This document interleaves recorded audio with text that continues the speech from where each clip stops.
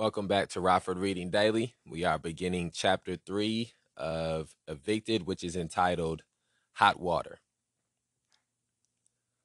Lenny Lawson stepped out of his trailer park office to burn a Pall Mall. Smoke drifted up past his mustache and light blue eyes and disappeared above a baseball cap. He looked out over the rows of mobile homes bunched together on a skinny strip of asphalt. Almost all the trailers were lined up in the same direction and set a couple of steps apart. The airport was closed, and even longtime residents looked up when planes came in low, exposing their underbellies and rattling the windows. Lenny had spent his entire life in this place, all 43 years of it, and for the past dozen years, he had worked as its manager. Lenny knew the druggies lived mostly on the north side of the trailer park, and the people working double shifts at restaurants or nursing homes lived mostly on the south side. The metal scrappers and can collectors lived near the entrance, and the people with the best jobs, sandblasters, mechanics, congregated on the park's snobby side, behind the office, in mobile homes with freshly swept porches and flower pots. Those on SSI were sprinkled throughout, as were the older folks who, quote, went to bed with the chickens and woke up with the chickens, end quote, as some park residents like to say. Lenny tried to house the sex offenders near the druggies, but it didn't always work out. He had to he had had to place one near the double shifters. Thankfully, the man never left his trailer or even opened the blinds. Someone delivered food and other necessities to him every week. College Mobile Home Park sat on the far south side of the city on 6th Street off College Avenue. It was bordered on one side by overgrown trees, shrubs, and sand pits, and on the other by a large truck distribution center. It was a 15 minute walk to the nearest gas station or fast food restaurant. There were other trailer parks nearby, surrounded by streets with modest tawny brick homes and sharply pitched roofs. This was the part of Milwaukee where poor white folks lived. The Menominee River Valley cuts through the middle of the city and functions like its Mason Dixon line, dividing the predominantly black north side from the predominantly white south side. Milwaukeeans used to joke that the 16th Street 16th Street Viaduct, which stretches over the valley, was the longest bridge in the world because it connected Africa to Poland. The biggest efforts to change that came in 1967 when 200 demonstrators, almost all of them black, gathered at the north end of the viaduct and began walking to Poland to protest housing discrimination. As the marchers approached the south side of the bridge, they heard the crowd before they saw it. Chants of, quote, kill, kill, end quote, and quote, we want slaves, end quote, rose up above the rock and roll music blasted from loudspeakers. Then the crowd appeared, a deep swell of white faces, upwards of 13,000 by some counts. Onlookers hurled bottles, rocks, piss, and spit down on the marchers. The black demonstrators marched. The white mob pulsed and seethed, and then something released, some invisible barrier fell, and the white onlookers lurched forward, crashing down on the marchers. That's when the police fired the tear gas. The marchers returned the next night and the night after that. They walked the 16th Street Viaduct for 200 consecutive nights. The city, then the nation, then the world took notice. Little changed. A 1967 New York Times editorial declared Milwaukee, quote, America's most segregated city. End quote. A supermajority in both houses had helped President Johnson pass the Civil Rights Act of 1964 and the Voting Rights Act of 1965, but legislators backed by real estate lobbies refused to get behind his open housing law, which would have criminalized housing discrimination. It took Martin Luther King Jr. being murdered on a Memphis balcony and the riots that ensued for Congress to include a real open house housing measure later that year in the 1968 Civil Rights Act, commonly called the Fair Housing Act. The white, working class South Side had, since the 1930s, made room for a small number of Hispanic families whose men had been recruited to work in the tanneries. In the 1970s, the Hispanic population began to grow. Instead of putting up another fight, whites began moving out, pushing farther south and west. Poland became Mexico, a small enclave on the near south side of the city. The north side remained black. The east and west sides of the city, as well as the far south, where Lenny's trailer park sat, belonged to the whites. Open housing law or not, Milwaukee will remain one of the most racially divided cities in the nation. Lenny stamped out a cigarette and ducked back into the office, which was situated in the middle of the trailer park, near its only entrance and exit. It was a cramped and windowless space, paper cluttered and lit by a naked bulb screwed into the ceiling. The old fax machine, calculator, and computer were covered with grease smudges. In the summer, a wet spot grew on the thin maroon carpet under the leaky air conditioning unit. In the winter, a space heater buzzed softly on a plastic bucket. Over the years, Lenny had added some flourishes stag antlers, a Pabst blue ribbon plaque, a poster of a flushed pheasant. Quote, hey, end quote, Lenny greeted Susie as he took a seat behind his desk. Susie Dunn was on her feet, as usual, sorting mail into the mailboxes that made up one side of the office. She was not placing letters in their boxes as much as punching them in there, fast and hard. It was her way. When Susie smoked, she sucked the cigarette down, keeping her hand close to her mouth. She couldn't talk without also sweeping or scrubbing or rearranging patio furniture. It was as if she'd fall over, like a toy top, if she stopped spinning. Susie's husband liked to call her the queen of the trailer park. Other people settled for Office Susie so as not to confuse her with Heroin Susie. Quote, Here's your unemployment check, end quote, Susie said to a letter. Quote, Now why don't you pay some rent? If she don't pay her rent, she ain't going to be living here much longer. She can move back to the south side or live in the ghetto, end quote. The office door opened, and in walked Mrs. Mites, barefoot. At 71, she was a tall and unfrail woman with a shock of cotton white hair, a face crisscrossed with wrinkles, and no teeth. Quote, Hey, Granny, end quote, Lenny said with a smile. He, like everyone else in the park, thought Mrs. Mites was crazy. Quote, Guess what I did today? I threw a bill in the garbage can, end quote. Mrs. Mites looked at him sidelong with her bunched up face. She had almost yelled the words. Quote, hmm, is that right? End quote. Lenny answered, looking at her. Quote, I'm no dummy. End quote. Hmm, what? Excuse me. Quote, hmm, well, I've got some bills for you. You can pay mine. End quote. Quote, ha, end quote, Mrs. Mike said, walking out to start her day by pushing a grocery cart and collecting cans. Mrs. Mites paid the bills with her SSI check. She cashed in the cans to give her mentally challenged adult daughter snack money or, after a nice haul, a trip to Chuck E. Cheese's. Lenny grinned and went back to his paperwork until the door swung open again. People who got half an ear everywhere else got a full one from Lenny. It was up to him to keep track of rents and maintenance requests, to screen tenants and deliver eviction notices.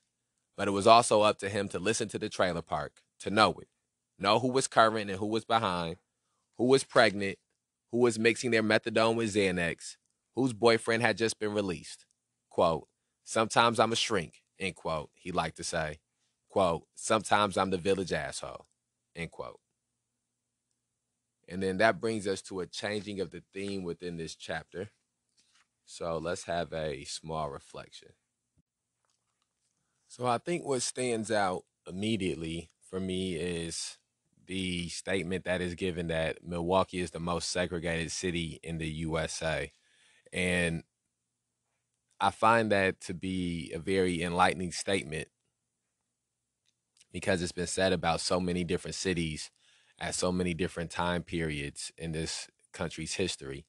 And I, I find that you can go to almost any city in in this country and you can ask figure out, you know, ask to figure out where the black side of town is, where the white side of town is, where the rich side of town is, where the poor side of town is, uh, where the uh, Latino or Hispanic side of town may be. And, and all of these things are, uh, all of these things are in, happen in such a pattern that they cannot be coincidental or accidental. It's not a coincidence that in Rockford, Saint in Rockford, the west side of the city is considered the black side of the city. The south side of the city is uh, considered the Mexican side of the city. The uh, east side of the city is considered the white side of the city. You know, these these things are not co- no, didn't happen by coincidence. These things happen because uh, when you trace back America's history, there were only certain parts of cities that certain ethnic ethnic groups and certain races were allowed to live in. And as time passes, those those lines become a little bit more blurred. But for the most part, they that structure stays intact, and that mind state that led to that happening stays intact. And so we uh, begin as we get deeper into this book, we get begin to see more of the color line that exists in Milwaukee. And I think that that is something that we have to be very cognizant and conscious of, no matter where we live at, understanding what the color line looks like and how it, what the color color line experience is like in in whatever city that you may be living in, whatever state you may be living in. Also, the seeing the demonstrations that took place that black people engaged in in an effort to try to be able to live in different parts of the city, be able to have fair housing and uh, fair opportunities at housing in different parts of the city. Uh, we see the demonstration that they put on for that, and we see the what, what they were met with, that they were met with violence and trying to do something as uh, and, and struggling for something as humane as housing. We see that they that these black people were met with violence in the story that they recounted about when the black people marched to the other side of town.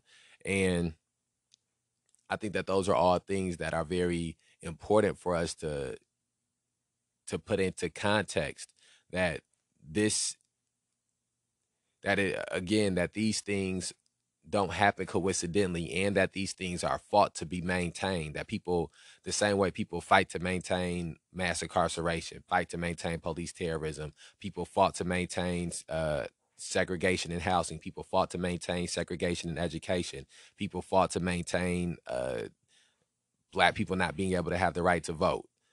People fought to maintain black people being enslaved.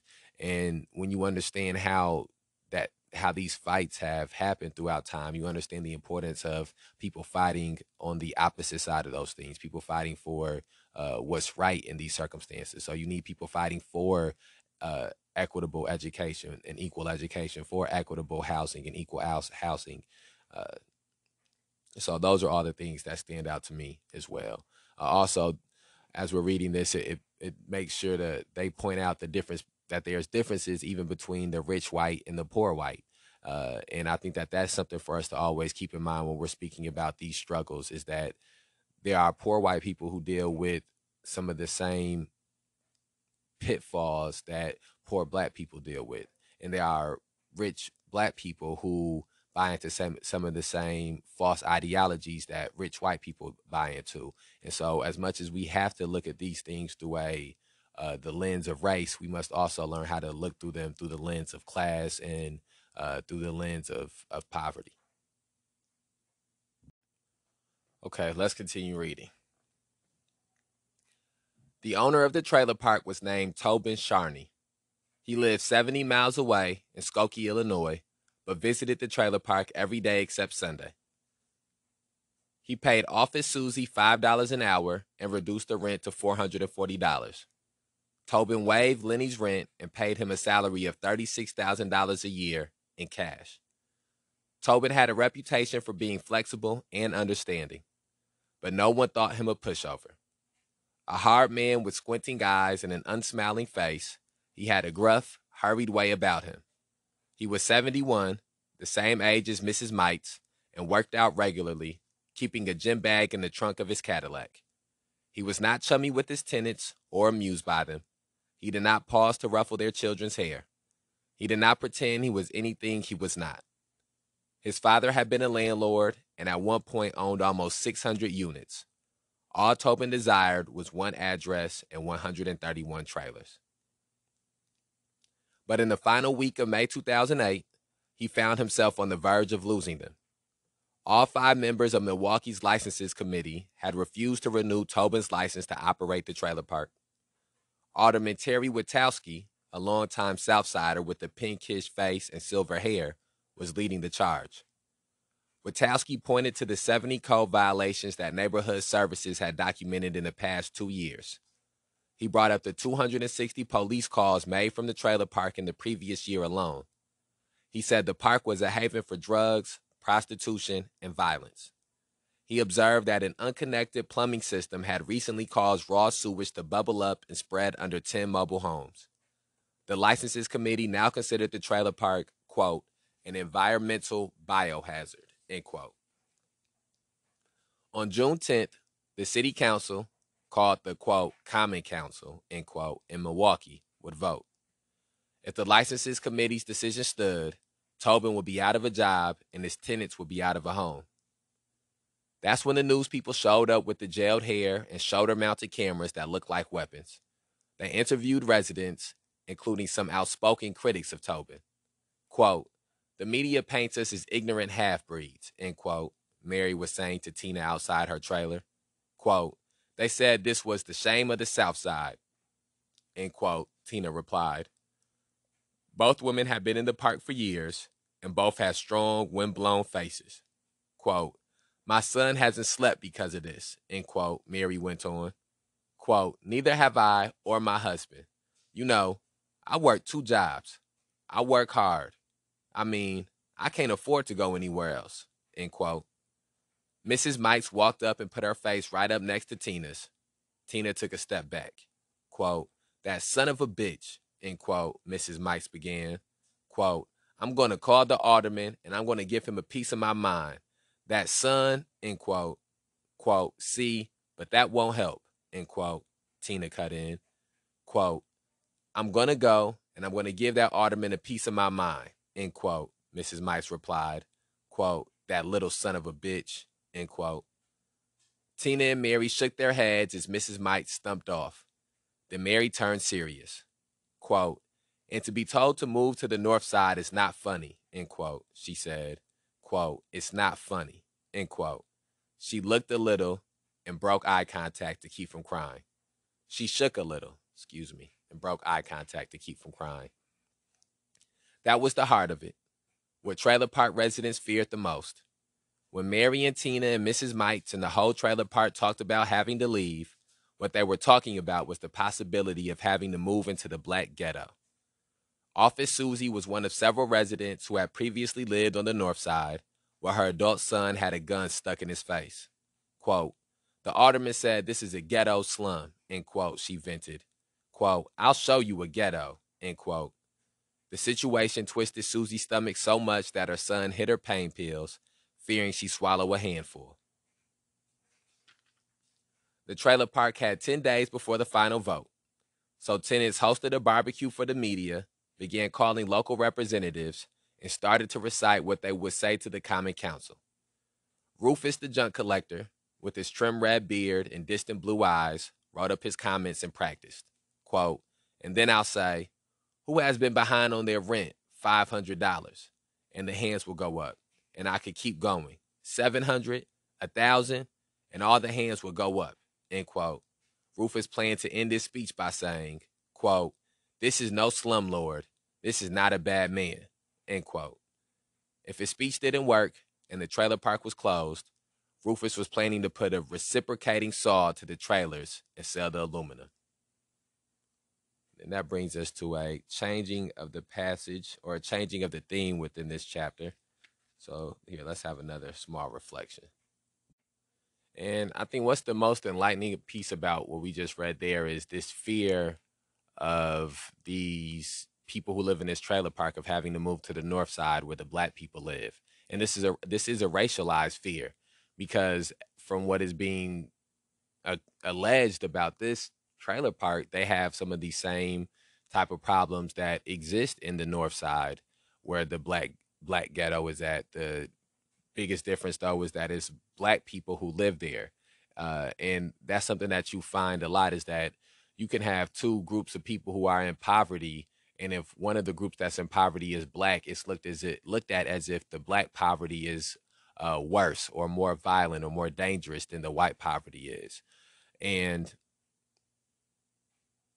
that is just another form of divide and conquer another form of uh, of a way to keep people who are working class and poor people fighting amongst each other instead of paying attention to the people who are uh, perpetuating poverty in black and white neighborhoods, who are profiting off of poverty in black and white neighborhoods. And so I just think that that is why we can't. it's not just as simple as being educated on uh, the race issues. It's also about the importance of being educated on on class issues and gender issues as well, and, and the intersections that exist within these struggles that we're waging. Okay, let's try to finish this episode up. Tobin worked with his tenants. He let them pay here and there.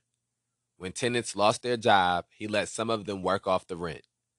He would sometimes tell Lenny, quote, they may be slow paying, but they're good people, end quote. He lent a woman money to attend her mother's funeral.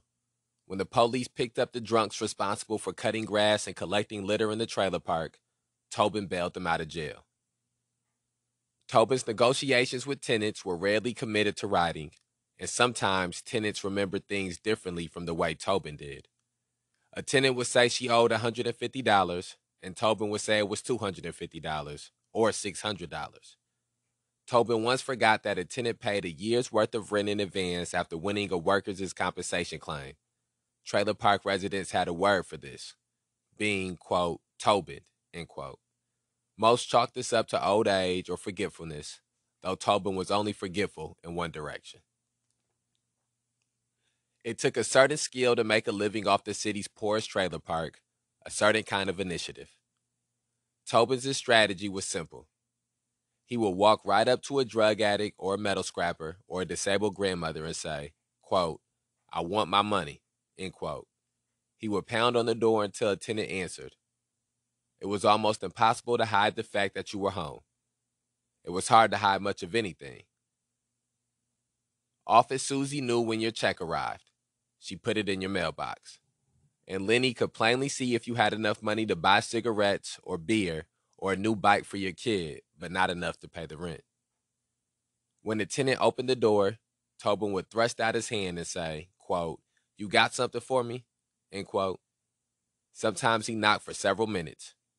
Sometimes he walked around the trailer, slapping the aluminum siding. Sometimes he asked Lenny or another tenant to rap on the back door while he assailed the front. He called tenants at work, even talking to their supervisors. When caseworkers or ministers would call and say, quote, please, end quote, or quote, wait just a minute, end quote, Tobin would reply, quote, pay me the rent, end quote. Tobin was not going to forgive and forget losing hundreds or thousands of dollars, or settle for half of what he was owed, or price a trailer below market value. When tenants fell behind, he had three options. He could let it slide and watch his income fall. He could begin eviction proceedings, or he could start a conversation. Option one was a non option. Tobin was a landlord to make a living, and if he was too lenient, he could lose his business. But Tobin also did not evict most tenants who owed him. Pushing tenants out and pulling new ones in cost money too. In an average month, 40 of Tobin's tenants were behind, nearly one third of the trailer park. The average tenant owed $340, but Tobin only evicted a handful of tenants each month. A landlord could be too soft or too hard. The money was in the middle, with the third route, and his tenants were grateful for it, though often not at first. Jerry Warren wasn't. Jerry used to ride with the Outlaws, a biker gang, and was covered in tattoos, several of which he had acquired in prison eviction notice in hand. Tobin had whapped the side of Jerry's trailer, an aqua blue 700 footer Jerry had painted himself. Jerry barred up the notice and threw it in Tobin's face, yelling, quote, Tobin, I don't give a shit about this fucking eviction. And Lenny, I don't care how old you are. I'll still take to whipping your ass something good. End quote. Lenny and Jerry exchanged words, but Tobin was unfazed. He had begun a conversation, and a few days later, after he had cooled off, Jerry would pick it up. He offered to clean up the trailer park and attend to some maintenance concerns if Tobin canceled the eviction. Tobin accepted the offer. He took a different tack with Lorraine Jenkins. A month before the licenses committee had rejected Tobin's renewal application, he had given her a ride to eviction court in the Cadillac. Lorraine received SSI for learning impairments attributed to a childhood fall out of an attic window. Her monthly check was $714. Her monthly rent was $550, utilities not included. Lorraine had been late with the rent several times before Tobin finally took her to court. Quote, It's just hard to give up that rent, end quote, Lorraine admitted. Quote, You've got to wonder if the street people don't have the right idea. Just live on the street. Don't have to pay rent to nobody, end quote. She sat in the passenger seat while another tenant named Pam Rinky, a pregnant woman with straight cut bangs and freckles, sat in the back. In court, Tobin offered them both stipulation agreements, a civil court's version of a plea bargain. If they stuck to a tight payment schedule, Tobin would dismiss the eviction. If they deviated, Tobin could obtain a judgment of eviction and activate the sheriff's eviction squad with something called a quote, writ of restitution, end quote, without having to take Lorraine or Pam to court again.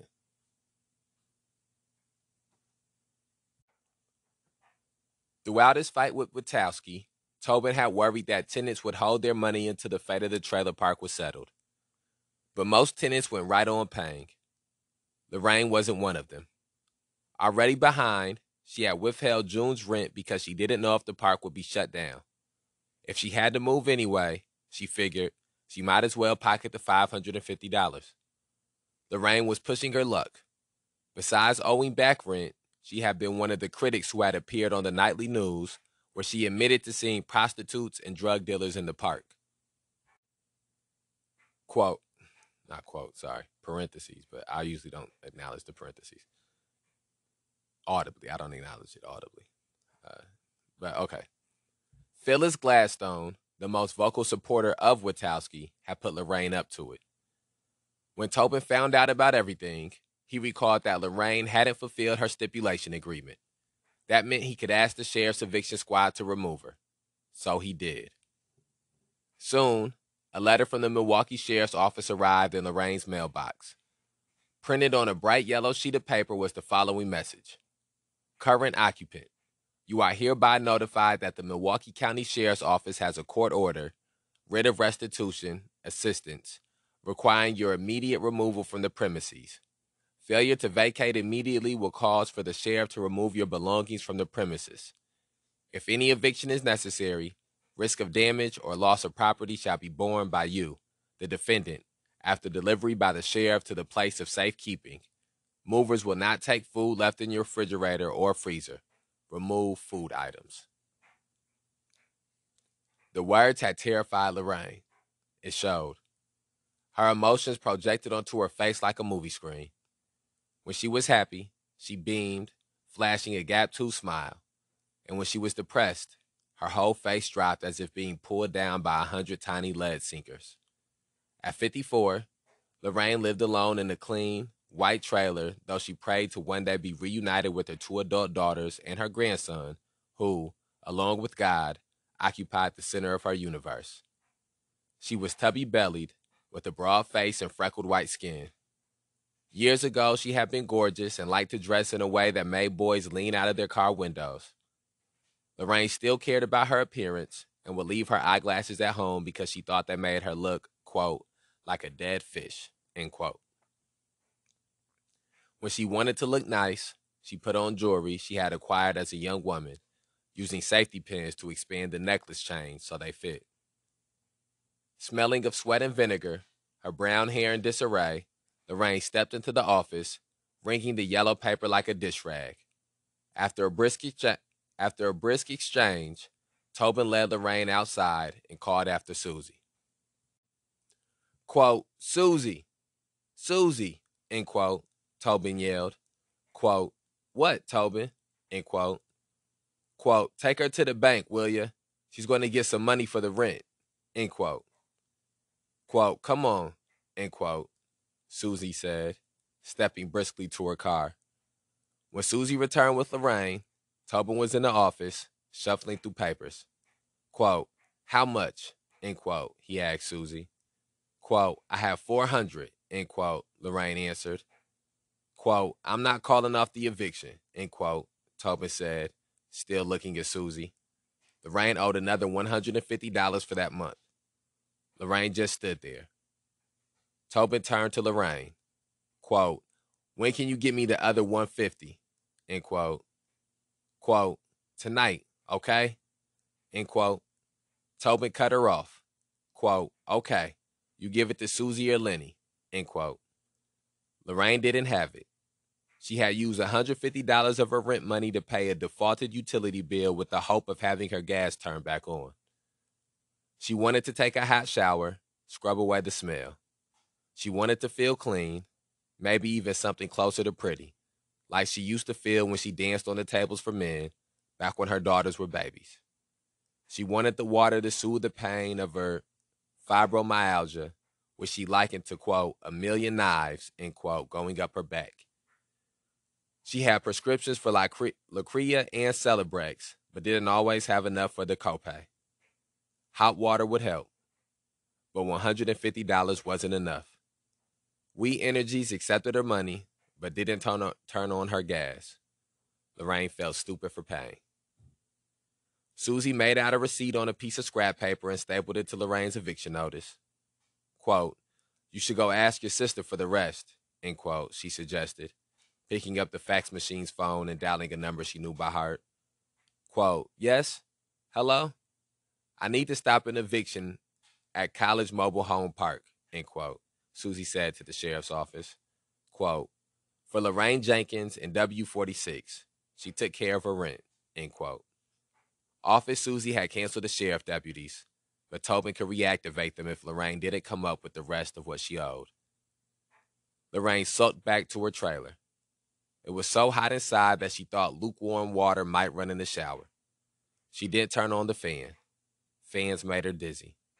She didn't open a window. She just sat on the couch. She called a few local agencies. After several unsuccessful tries, she tried blankly to the floor. Excuse me. After several unsuccessful tries, she said blankly to the floor, quote, I can't think of anything else, end quote.